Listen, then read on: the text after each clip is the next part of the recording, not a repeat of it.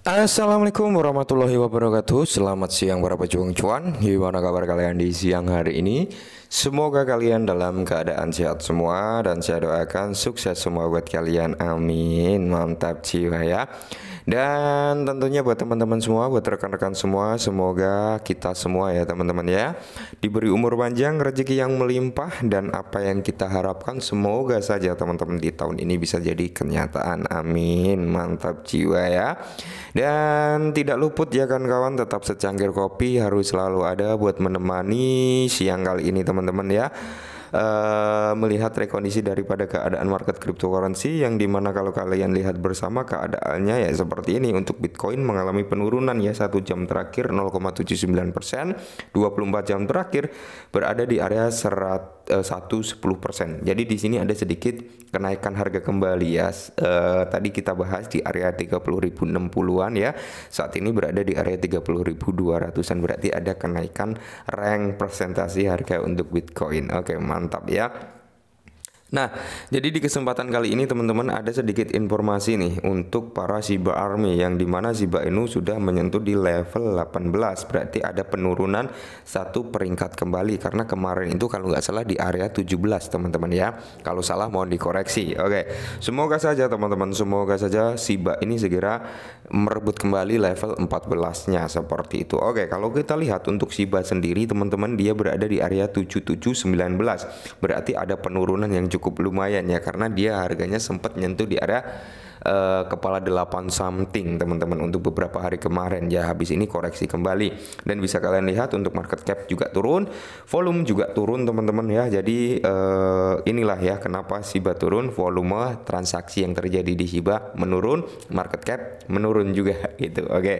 nah cuman di sini ada sedikit informasi buat teman-teman semua ya SIBA di balik layar. Oke okay, langsung kita bahas Nah, jadi di sini teman-teman Shiba Inu mem, uh, membunyikan lonceng alarm ya, alarm apa? Alarm bahaya atau alarm apa gitu ya. Nah, inilah yang terjadi di balik layar Shiba. Oke, teman-teman ya. Uh, kita ketahui kan Shiba informasinya bagus-bagus terus ya kan, teman-teman. Tapi ini salah satu yang bertanya, "Bang, Shiba ini sebenarnya informasinya bagus terus ya kan? Cuman kenapa harganya nggak mau naik gitu ya? Harganya malah cenderung turun dan turun gitu ya."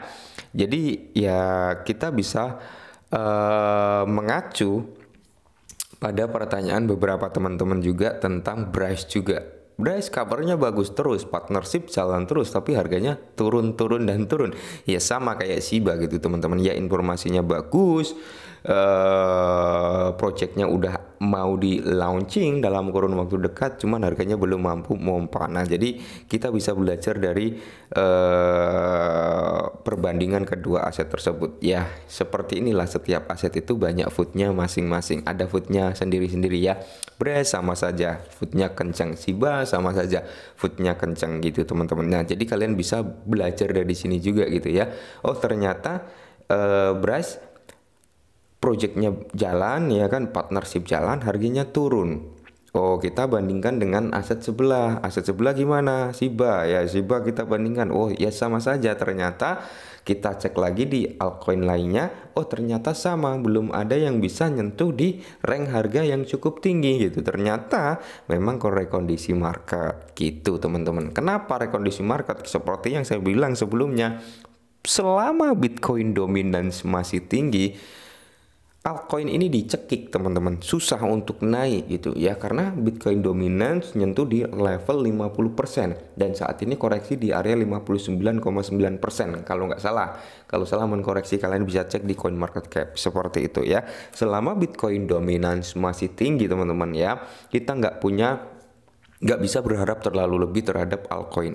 Altcoin ini akan dicekik dulu gitu teman-teman ya. Ditahan dulu buat naik gitu loh ya. Nah jadi e, mengungkap perilaku perasaan pemegang Shiba Inu besar di balik layar oke ya. Jadi e, mengungkap perilaku meresahkan oke meresahkan pemegang Shiba Inu besar atau paus Shiba Inu lah ya yang bikin resah.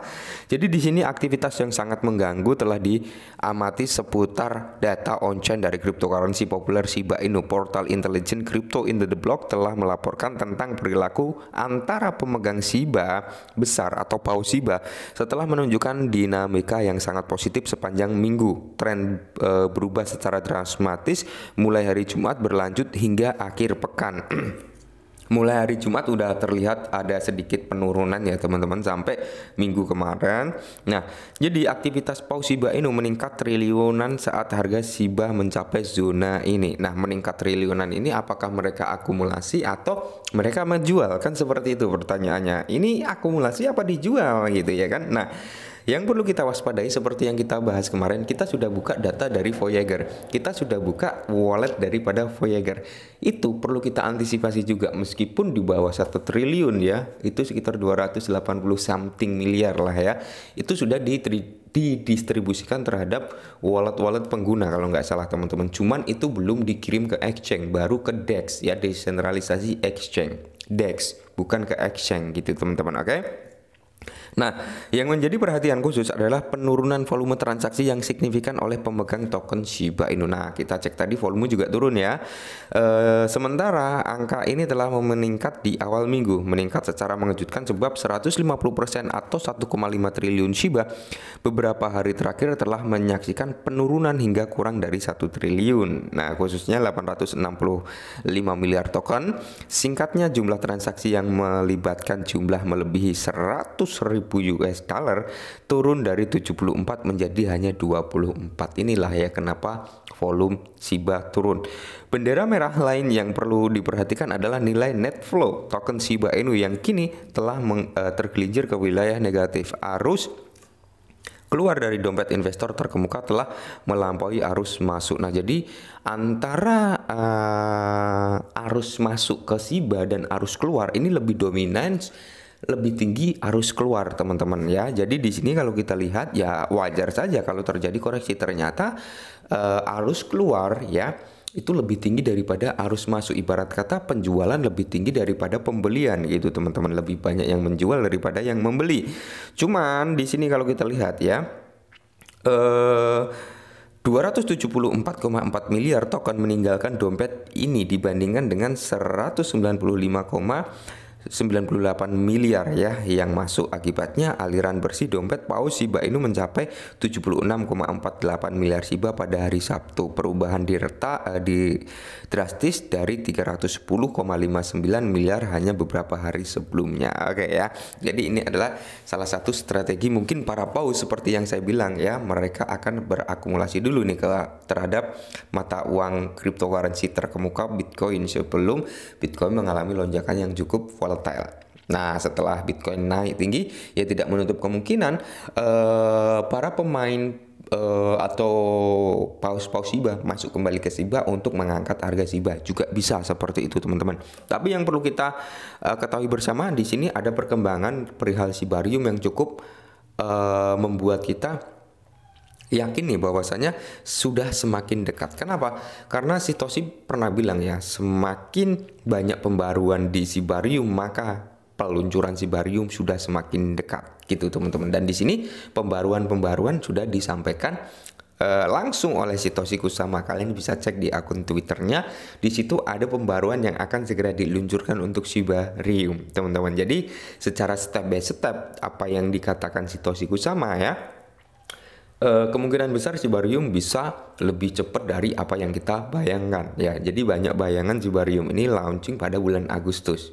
Tapi menurut Citoshi Kusama itu bisa lebih cepat dari pada yang kita bayangkan dan ada statement juga di bulan Juli. Kalau di bulan Juli saya bulisnya mungkin di pertengahan bulan Juli ya seperti itu teman-teman ya. Oke kita tunggu saja semoga di kuartal 3 ada ledakan untuk Shiba. Amin dan salam cuan.